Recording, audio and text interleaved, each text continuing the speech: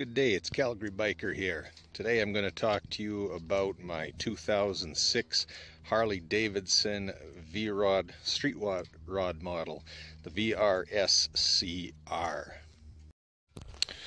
So to give you some background, the V-Rod uh, street rod model differs from the standard V-Rod in a few critical ways.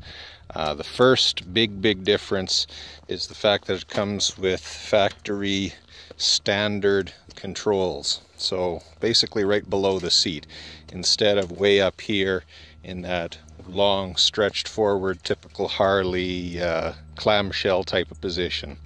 So first of all, that, that riding uh, position gives you a lot more control over the motorcycle, or at least as far as I'm concerned. The, the second big thing um, in terms of difference is the ground clearance. Uh, so in particular, it's got considerably more suspension travel at the back and at the front with the Showa inverted fork from the factory. That in combination with the peg position means that it's got a 40 degree lean angle, which for a Harley is absolutely incredible and certainly for most public roads at most reasonable speeds it's more than enough ground clearance so definitely the most sporty of all of the Harley factory models anyway with the exception perhaps of some of the Sportsters that's got increased, ground clearance. That being said, um, the motor in the V-Rods, the 1133cc in this particular case for 2006, uh, is far and beyond the most powerful engine Harley makes. Um, water cooled instead of air cooled, dual overhead cam, all of the type of technology you'd expect in a current motorcycle, um, producing well over 100 horsepower to the rear tire. So combination of that power, this chassis, the suspension means it's a heck of a lot of fun to ride fast on twisty roads. In fact, the machine begs to be ridden, and the more you push it, the more it wants you to push it, which cannot be said for pretty much any any Harley. So that's uh, some of the, the key things that I really like about the bike. That being said, I've done some customization to it. The biggest customization I've done is to the rear. So the tail light, uh, there used to be a big plastic uh, piece along the bottom that had the signal lights and the license plate bracket. I actually broke one of the signal lights off while moving the machine. So that prompted me to basically eliminate all of that plastic along the bottom, get an integrated tail light with LED uh, brake and signal lights built in. And then as a result of that, I had nowhere to put the license plate, so I built a side mount license plate bracket along the side as well, complete with LED lighting uh, to make it legal and really cleans up the back end. Looks really sporty, shows off the decent but not too big rear tire uh, along the back. Second thing that I did to the bike is it came when I bought it with Tab Performance straight pipes, which sounded really awesome if you weren't actually on the bike. But while on the bike, it was just way too loud. Maybe I'm just getting old, but oh my god, it was basically unbearable. So I got a uh, set of uh, Harley Davidson factory V-Rod pipes. These particular uh, slip-ons were actually from a night rod. Um, so it's kind of a brushed aluminum instead of chrome. But with the tips that I repainted black, I think it looks really awesome. So now it sounds pretty decent, much quieter, and uh, much more rideable. I don't have to wear earplugs now every time that I ride the machine. So that was definitely a, a nice uh, a nice change as well. The other things that this bike has are the the Willie G Harley Davidson skull grips as well as the Willie G Harley Davidson side mirrors which look really cool. From a functionality standpoint the mirrors are pretty much as useless as the factory ones are. They're not great but uh, like most Harleys uh, you get uh, a little bit more style as opposed to function. So style trumps function.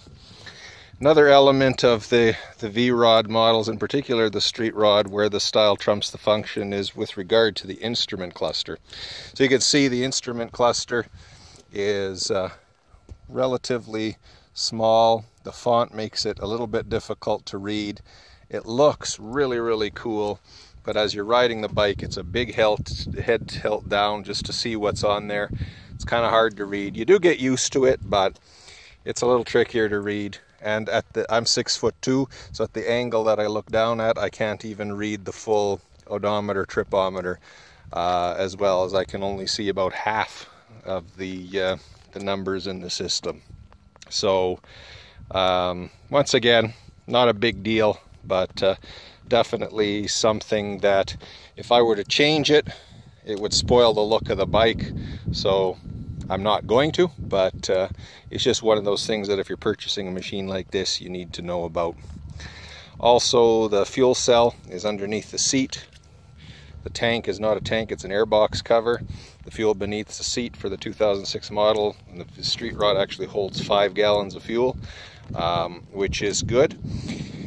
And uh, yeah, so it's got a fairly decent range to it. By the time you run out of uh, fuel, given the seat, you're pretty much ready to get off and stretch your sure legs anyway. So even if I could go further on a tank of gas, I'd still want to get off and stretch my legs. So um, the seat and the fuel tank capacity match, which is uh, which is all right, I guess.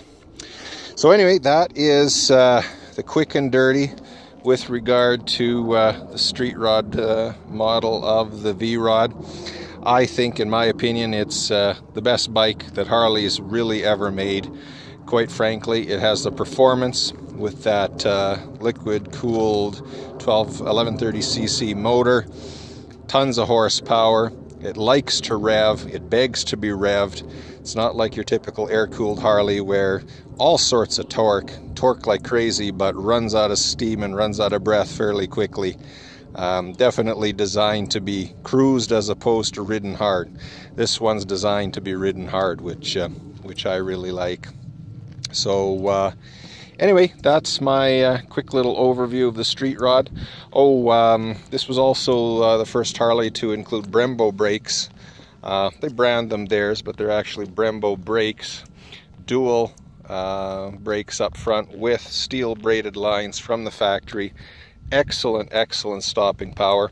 Once again, not something that you can say of a lot of Harleys, but uh, it's got superb stopping power, um, good feel, um, not a lot of initial bite, but very progressive. Uh, feels good to the hand and easy to modulate with uh, more, as much power as you need for a machine like this.